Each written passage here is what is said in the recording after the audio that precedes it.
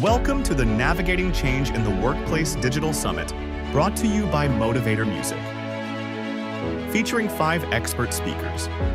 Helen Williams, speaker and founder of HMW Sports LLC, Steve Stasczak, speaker and founder of Leader Speakers Training Company, Edward Morefield, speaker and world renowned coach,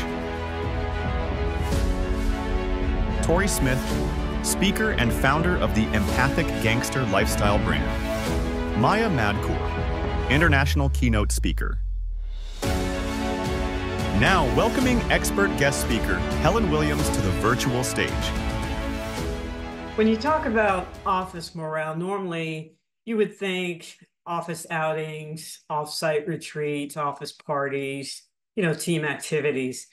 But Today, I want to talk about the day to day things that I think are necessary to um, have buy in and make sure that your employee morale is high. Now, the first thing that you should think is that all of your people matter. Um, you would think that that is a fundamental tenet of any organization, um, but it's not always practiced. If I asked you who your key personnel is, more than likely you would say the CFO, the CEO, the COO, the CIO would be on your executive staff and they would be key personnel. But who really is the glue to your organization? Would your first or second thought even be the uh, accountant, the electrician, the custodian, the administrative assistant?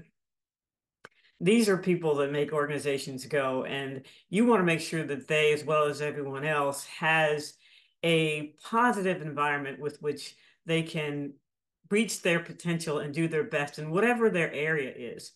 So I just want to bring home that not everybody leaves an organization because of money.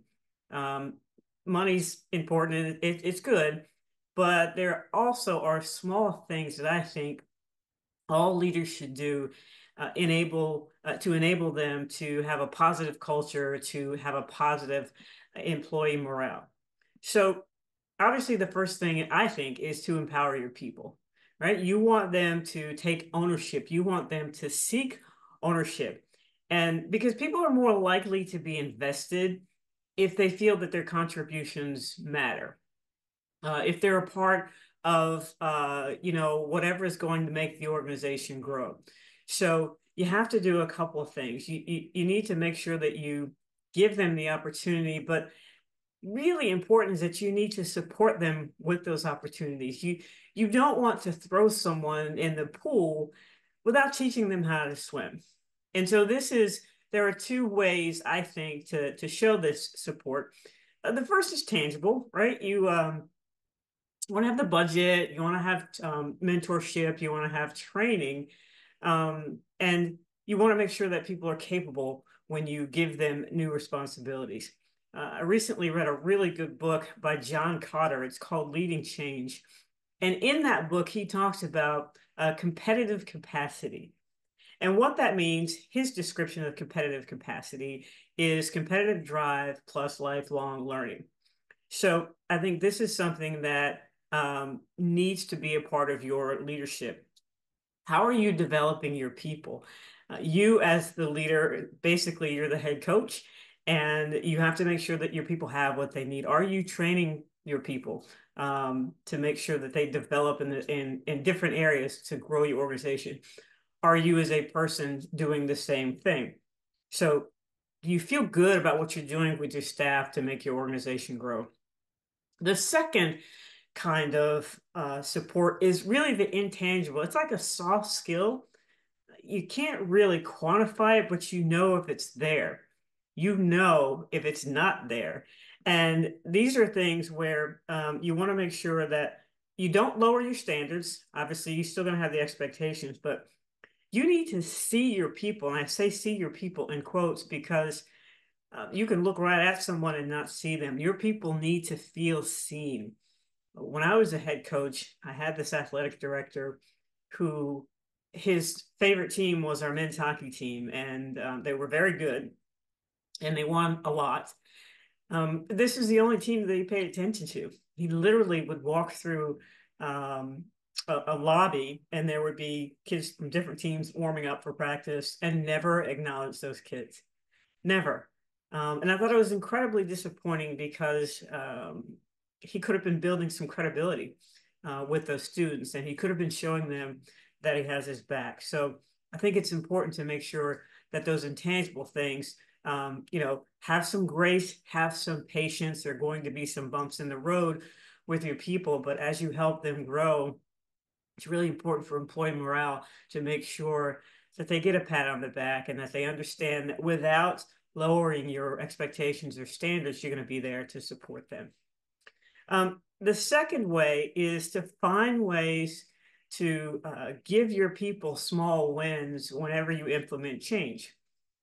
Change is hard, but change is necessary. As a business, you don't want to be stagnant. You always want to have the latest equipment, software, um, you know, the best people.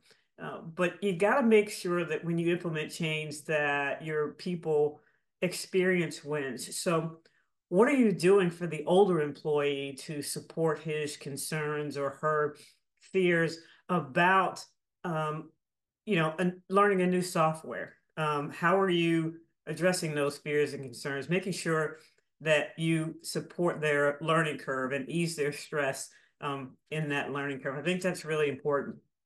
For the younger employees how are you supporting them helping them learn to be responsible, to be accountable, to be a professional. Uh, not all young people today have grown up being taught uh, work ethic, or they have maybe a different perception of what work work ethic is um, than you. And so, making sure that you are being patient with them, uh, giving them some grace, but also helping them understand the standards that it takes, uh, the standards of excellence that you expect in your organization. The third thing is uh, conduct yourself with uh, integrity and honesty. Nothing turns people off more than a leader who is disingenuous, who does not lead by example, who does not uh, keep her word, who does not do the things that he says he's going to do. Really, really important. Now, it's okay not to be perfect, you know, as a leader. You're going to make mistakes and you cannot make everybody happy. But I think you have to own your decisions and, um, you know, be humble enough to admit when you're wrong. I recently was watching this really great um, documentary on the History Channel about John F. Kennedy. And one of the things that struck me was that he wanted to make a speech after the failed Bay of Pigs invasion of Cuba. And obviously his uh, advisors did not want him to make that speech to the American people. They felt it would negatively impact the polls, right? There's always a poll for the president of the United States, but but he felt so strongly um, that he did it anyway. And he said, an error is not a mistake unless you refuse to correct it.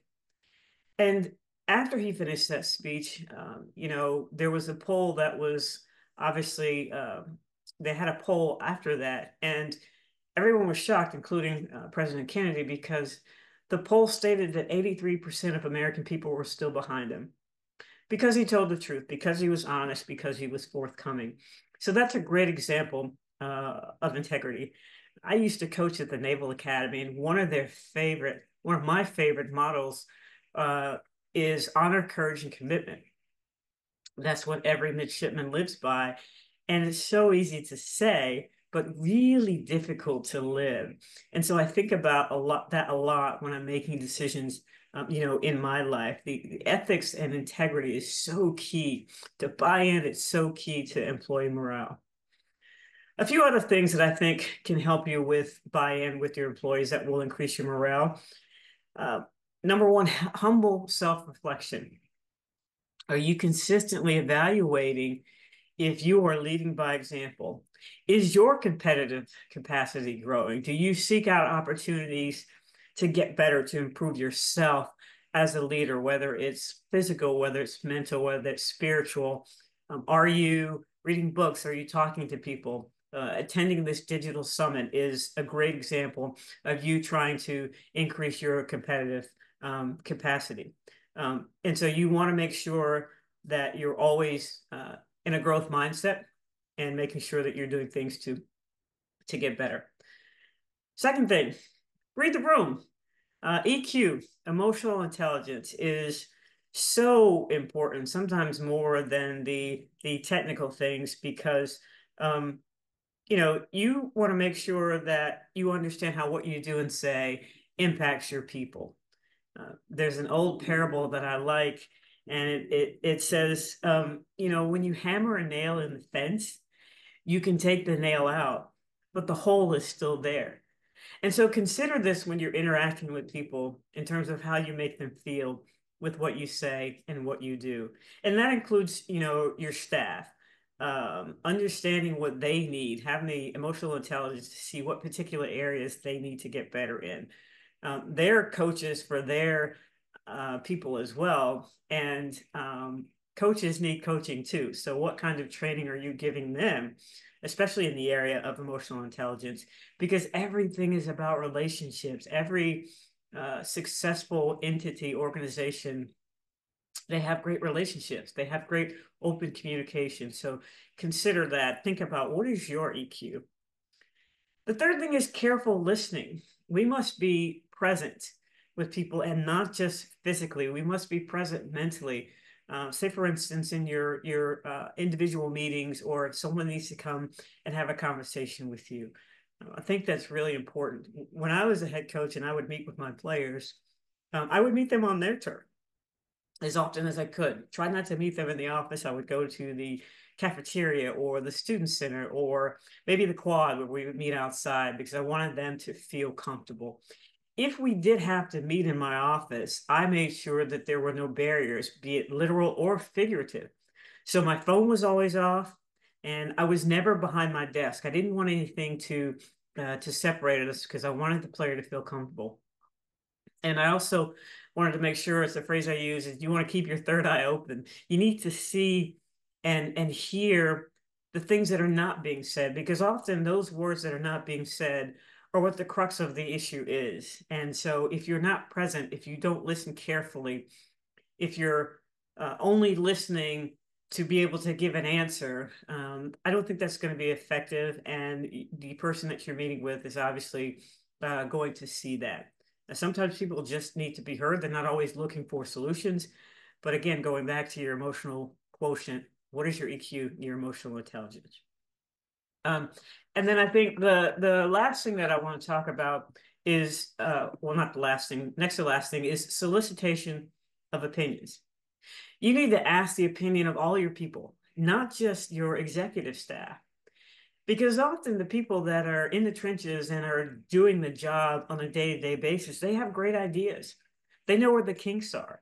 They know where the pain points are, and so it would behoove you to solicit their opinions when you're coming up with um, you know uh, operational standards for your organization. So many times the people on high the executive staff they come up with these great ideas but it's the people that are in the trenches that have to implement those ideas. And so they need to be consulted to make sure that those pain points are addressed correctly. And then finally openness to new ideas you don't have to have all the answers. That was one of the things that I learned as a head coach is I don't have to have all of the answers. Um, you hire competent people, obviously, who are intelligent, who are trained, who are aware of what issues are. And it doesn't always have to be your ideas in your way. When I delegated, what I would do is I would answer three questions. Number one, what did I want? Number two, why did I want it? And number three, I would give them a time frame because I wanted them to have context. I didn't just want to delegate and say, do this or do that. And I only had one requirement, which was uh, whatever you do had to be moral, it had to be legal, and it had to be, um, it had to have some some integrity, right? Wanted to make sure that it was moral, legal, and ethical. And then go forth and do your thing. Um, I just wanted the results. My way might not always be the best way. There are different ways to approach situations. So just go forth and do your thing. Just follow those few parameters that I would give you when I would when I would delegate. So when you're thinking of employee morale, the office parties, the retreats, the team activities, those things at some point will end. Um, you want to make sure that um, you're in it for the day to day. The day to day consistency that will go a long way, and that will uh, develop and improve your employee morale. And and to be honest with you, it'll keep people around. Like I said, it's not always money that um, you know that make people leave. Sometimes people just want to be acknowledged and and valued, and make they they need to make sure that you need to make sure that uh, you communicate how important their contribution is. Now, welcoming expert guest speaker Stephen Stasczak to the virtual stage. Employee engagement is crucial if you want your employees to feel like they've got the self worth. You know, praise praise is huge. My father always used to say, you know, when you a little bit of praise goes a long way, and that used to make me feel good when I was working uh, for a company. So, what are some of the th- other things that companies can do to foster employee engagement? Well, I mentioned outside activities a little bit ago, and I used to work for a, uh, a leadership company. Now, one of the things that we did was we would go into companies, companies would hire us rather, to perform team building events for their employees. Now, these team building events are huge. They're only two or three hours long, but when the employees come out, they not only feel appreciated that the company is willing to do um, a fun event for them, that they can engage and um, have some fun, and they feel this little bit of a self worth. They feel their self worth because their comp- they know their company's spending some money on them, and they probably think in the back of their mind or realize in the back of their mind that this is going to be an enriching experience. So I'm going to give you an example. Well, one of the thing, one of the events that I used to perform was a uh, one of the team building events that I used to perform was a, a bike building event. Now that was one of the most more popular events, and it's really fun. It charges the employees up, and not only that, but it gets employees from different departments to learn cooperation to work with other departments to create you know, success, obviously, or a winning situation, for lack of better terms. So basically, how this event is constructed is that there were probably 200 employees of, of, an event that I can think of that I, I performed down in Jacksonville, South Carolina for Home Depot. You know that little company, Home Depot? Well, they had a big distribution center down there for the Southeast. And um, what we what our mission was to get these people to break out of their silos. And this is what some companies are guilty of. I should say departments are guilty of. They they try to win in their department. Okay, they're all for their department. They they want to they want to shine. They want to outdo the other departments. You know, to look good, obviously. But the mission here is to get everybody from all departments working together for one great result. Now, how do we do this? So we separate people that came in the team building event, and there were probably 200 of them, into different teams. Now, these te- teams would probably have, let's see, about uh, maybe uh, we did 20 groups, and there were 10 people in each group. Now, how we picked them was was we would pick people from different departments. They'd get a deck of cards. We'd have cards up there, 52 cards, and each of them would pull a card, and they would end up in different uh, uh, they would end up in groups with people from different departments. Now, some people turn their nose up that in the beginning. They go, "Oh my God!" So I'm working with this guy, somebody I compete with. But as the team building event went on, they'd start working together. They'd be they they'd be working together in harmony to create one big success. And the success was to build a bike. Now those bikes had seven parts. And their mission was obviously to build that bike as quick as they could, or I should say their their motivation was to build the bike as quick as they could to be able to win their uh, so their team would win. So the smart leader, smart teams would allocate the trivia questions, which would be uh, which would have to be answered to be able to uh, to to earn the bike parts to be able to get the bike parts quicker, to build a bike quicker, to win, right? The winner would be the winner was the, the uh, excuse me, the group that would build a bike fast. So everybody was feverishly um, trying to answer those trivia questions to build those bikes quicker. So this, once again, the smart leaders would allocate the the trivia questions to the people that knew that were were experts in that area, and they'd probably just ask them who knows sports better, who knows TV and entertainment better, and so on and so forth, who knows gardening better. In any case, so the idea behind this was to not only get these teams working together, but to work together with those other groups that were in the room building the bikes. Now, how do we do that? So basically, what we would do, the people that would uh, hand the uh, bike parts to them after they got the correct question right, trivia question right, would hand him a bike part. There were seven bike parts. Now, they'd come up, let's say they answered a trivia question correctly, they'd come up and get a bike seat. Okay. Then someone else would answer a question in that group. They'd come up and they'd give another bike seat. They, and the person would go, "Oh, wait a minute here. I just we just got a bike seat." the person would throw the person dispensing the bar, bike parts would throw their hands up and go, oh, sorry, sorry. So they were scratching their head. The people from that group that got the two seats were scratching their head and they said, oh, what's going on here? All of a sudden it would dawn on them. Maybe those people over there got two handlebars. So let's look at that group.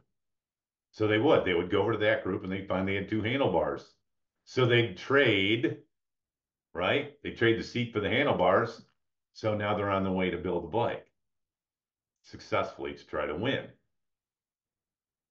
So basically, what happened here is you're not only getting people that don't know each other in groups working together, but you're having people in other groups that don't know each other.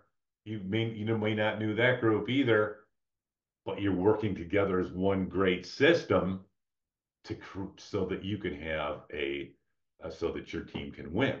So all in all, what this taught them was that they could work together no matter, you know, if it was another department or another group in the team building event to be able to complete their bike to win.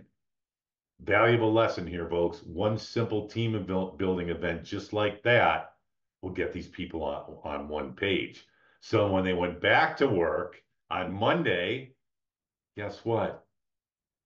instead of working in their silos, they'd say, Hey, I've got a problem over here. Do you guys have a solution to solve this problem? Oh, yeah, sure.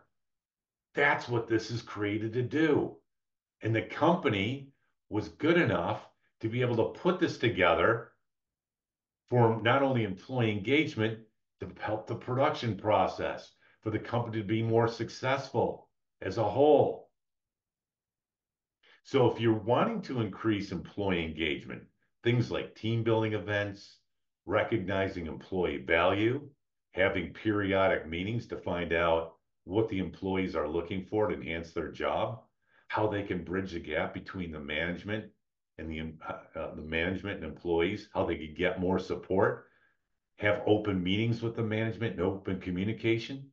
All this creates this employee engagement. All this creates success for a company. So if you want to engage your employees, if you want a better system, exercise employee engagement. You'll be glad you did. Now, welcoming expert guest speaker Torie Smith to the virtual stage. Hey guys, what's up? It's me, Torie, founder of the Empathic Gangster Lifestyle brand and creator of the Harmonic Living series. I'm a channeler, a spirit advisor, a cosmic thought leader, motivational speaker, graphic artist, and author, and I specialize in divine cosmic consciousness and galactic attunement, which is who we are galactically and what we are holographically. So everything is always moving and shifting and changing always, and what it entails to navigate the universe isn't really any different than what it entails to navigate the ever changing workplace. So the experience of self mastery is the ability to organize a whirlwind, right? The ability to jive and jazz and dance and flow with all that is, and knowing how to navigate any waters competently and confidently. So I've done many a case study in my time and nothing leads to more assumption, speculation, and confusion than one not being able to articulate their perspective.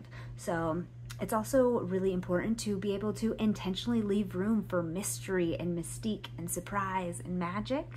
And this is often an innate gift, but it's also a skill set that can be harnessed and mastered as well. So utilize your personality, lean into your innate gifts and talents, and get to know absolutely everyone that you work with so that you know how to collaborate and make magic together effectively and efficiently. Um, I draw most of my inspiration and understanding from my passions and my experiences, and then I will copy paste that and I will put it into new arenas and new projects. So it's really interesting because people will often notice when a person is like quote unquote good at everything, but the truth of the matter is it's simply a way of operating, right? So they approach basically everything with the same level of experience, tact, and finesse and understanding. They know how they operate in their strongest categories and then they integrate that into new ones. So, uh, if you have ever been an athlete, a server, a bartender, an artist, an entertainer of ev- any kind, uh, you understand pivoting, flowing, organizing chaos into an elegant and eloquent, productive experience. So utilize that understanding and approach new opportunities with that same understanding. Because at the end of the day, organization, intentional pace setting, patience, delegation, prioritization, and teamwork is what makes all successful. Now, welcoming expert guest speaker Edward Morefield to the virtual stage. Okay, let's start by asking this question How many of you have ever felt misunderstood in your workplace? Perhaps there was a moment when your ideas, your concerns, how you've been raised, your culture, how you view the world, maybe even your very identity didn't seem to resonate with those around you. It's a challenging and often lonely feeling, and even worse, it's very judgmental, isn't it? Now imagine that feeling wasn't just a moment, but a persistent experience that shapes the way you navigate your day to day interactions and creates that lens with which you see the world through and shapes how you view that world. This experience of not feeling understood, of being seen, but not truly acknowledged or valued for your experiences and how the world's impacted you, is a common thread that runs through the stories of many employees worldwide it highlights a critical gap in our workplaces, one that we aim to address through diversity, equity, and inclusion efforts. So, with that, today I want to talk to you about empathy. This is my cornerstone when it comes to how I like to implement DEI in our workplaces. It's a word we hear often but don't always fully grasp in its depth. Empathy is more than just understanding someone's emotions or putting yourself in their shoes. It's about relating to and valuing another person's lived experience, even if it's not the same lived experience that you had. And even more so if it's an experience that you don't necessarily agree with. In the context of DEI, empathy is the bridge that connects us to each other that transcends our individual differences. We all have our own experiences that shape how we see the world. Things in our family, things in our culture, our environment, our life. Our upbringing, culture, education, and our personal history influence our perspectives and our beliefs. These are valuable, but they're not universal. We each have our own lens with how we see the world. The challenge arises when we assume that our way of seeing the world is the only way, or even worse, that it's the correct way. There's no correct way, y'all. When we approach our colleagues solely through our own lens, that we think that our way is the right way, there's no such things as intrinsic biases. We risk dismissing or minimizing someone else's experiences. We might unintentionally impose our own beliefs, expecting them to conform to our reality. This is not just about deferring opinions, it's about the fundamental way we understand and relate to each other. And in a diverse workplace, this lack of understanding can create barriers to true inclusion. It can create disdain and affect morale on an even deeper level. So let's delve into this even deeper. Each of us has been shaped by the environments we grew up in, the cultures we were exposed to, the values we were taught, and the ideologies we've absorbed.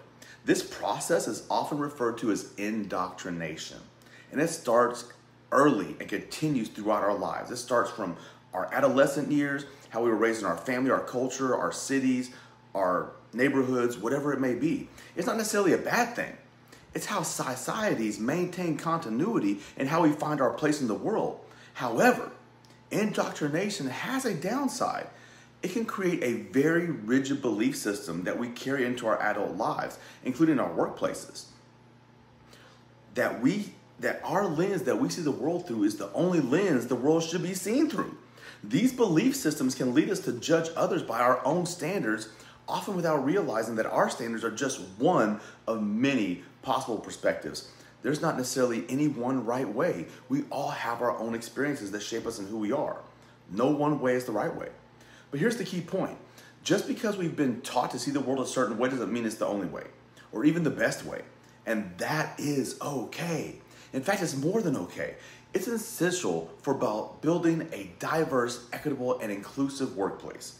To foster true DEI in the workplace, we must begin by acknowledging that our personal experiences, while valid, are not universal. We need to stop viewing others solely through our own lens and start appreciating the rich diversity of experiences that our colleagues bring to the table. We need to be able to stop and take a moment to look at someone else's lens and think about what it looks like to look through their lens and how they see the world. This requires a shift in mindset.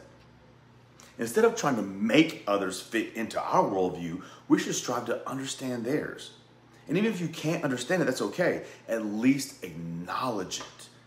As human beings, all we want is to be acknowledged. This does not mean abandoning our own beliefs, but rather expanding our capacity for empathy. It means listening, really listening when someone shares their story, their pain, their traumas, everything they've been through, and recognizing that their truth is just as valid as ours, even if it's not the same. When we embrace this approach, we open the door to deeper connections and more meaningful collaboration. We create an environment where everyone feels valued, understood, and included. This in turn fosters innovation, creativity, and a sense of belonging that can transform our workplaces on a whole new level. As leaders in these workplaces, it's our responsibility to model this empathy in our daily interactions. As leaders, we must lead. We must be intentional about creating spaces where diverse voices are heard and respected. This means challenging our own assumptions and being open to learning from others. It means leading with humility, being humble enough to acknowledge that we don't have all the answers, and that's okay. Leadership in DEI is not about enforcing conformity, and that's where the mistake often happens. It's about cultivating an environment where diversity thrives. It's about recognizing that each person's experience is unique and valuable, and that our differences are not something to be tolerated, but celebrated. So I leave you with this right now this call to action. Let's commit to expanding our empathy. And you got to remember, empathy is not sympathy. We're not feeling sorry for anybody. We're trying to be empathic and understand and relate to. So we need to shift our lens. Let's move beyond the comfort of our own experiences because it's going to be uncomfortable. But we need to embrace the diverse perspectives of those around us. By doing so, we can create a workplace where everybody feels understood, valued, and empowered to contribute their best. Remember, the goal of DEI is not to erase our differences, but to honor them. It's about building a community where every person's story is heard, even if you don't agree with it, where every voice matters, and it starts with us by choosing to see the world not just through our own eyes, but through the eyes of others as well. Now, welcoming expert keynote speaker Maya Madkour to the virtual stage. Hello, my name is Maya Madkour. I'm an international keynote speaker, PhD candidate, and author. I'm also a positive psychologist and well-being expert. And today I'm delighted to talk to you about change and change management and how we can, as leaders and staff people and employees and just individuals really in life and at work, manage change in a way that serves us, in a way that does not deplete us, in a way that actually energizes us. Because change is the only constant in life, we all know that.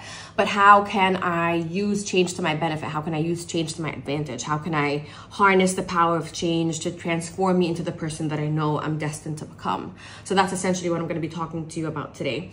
Um, most of us fear change uh, because it's wired in our genetics, it's wired in our brain, it's wired in our biology. That's how the human race has survived for thousands of years, tens of thousands of years, and eons, because we are programmed to resist change. The subconscious mind is programmed to resist change because if we were to play around with a saber-toothed tiger tens of thousands of years ago, we wouldn't even be here to talk about it. So we are wired to stay within the confines of our comfort zone, not knowing that outside, if you just take a few steps out and venture out into the unknown, venture out of your comfort zone, that a whole new, beautiful, delightful, incredible world actually awaits you.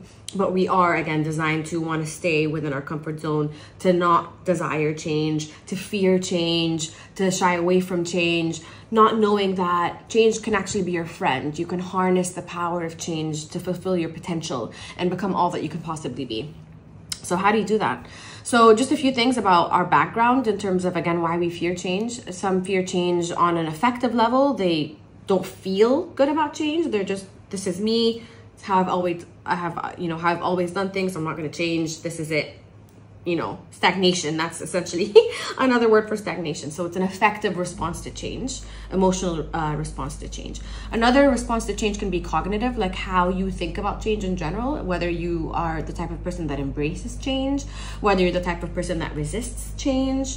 Um, and all of those things are actually fixable and malleable and changeable uh, with the right training and with the right mindset.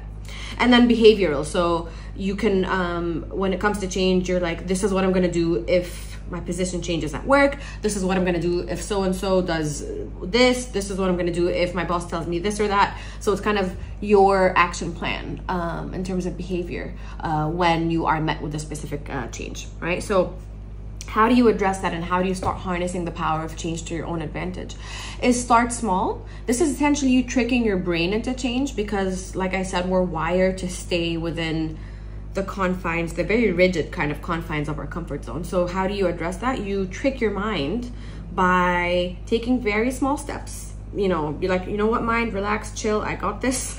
Start taking some very small steps. Um, those small steps are not going to lead to resistance of any sort from your conscious and subconscious. Small, let's say you want to lose weight. That was my weight loss journey anyway.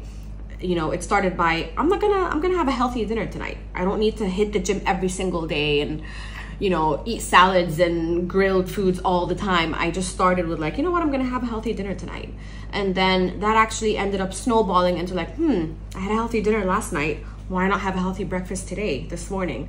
And then it just starts to snowball. And bit by bit, as you make these micro decisions, these micro moments, they add up and they transform your very being I think most of us fear change and most of us shy away from change because we think it's going to be this grand gesture of like doves flying in the sky and like, oh my God, I'm this incredibly new person and, you know, just completely someone else.